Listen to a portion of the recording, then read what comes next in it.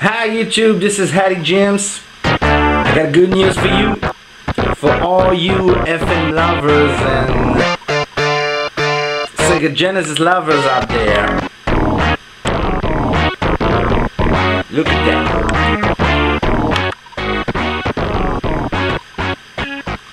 Yep. So, hey, uh, what is it? Um, it is a custom ROM uh, to quickly test and design FM instruments preset on real hardware. And the code has been provided in assembly by a guy named Matt, which I have helped providing LFO and SSG support. And I have also provided this nice techie background. Yeah. So if you run this inside an emulator, you will also be able to um, dump the presets in order to load them later in FM Drive VST or any compatible trackers.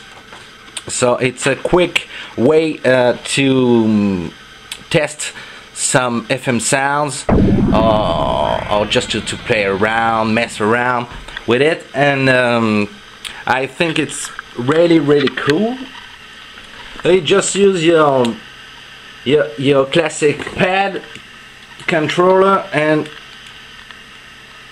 you just move to the relevant register and just have to change it. And you will design some sounds.